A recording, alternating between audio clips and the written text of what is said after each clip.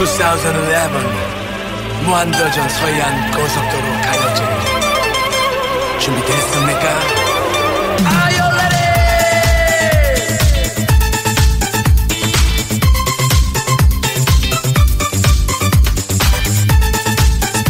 달팽이 이적 엔체서 1, 2,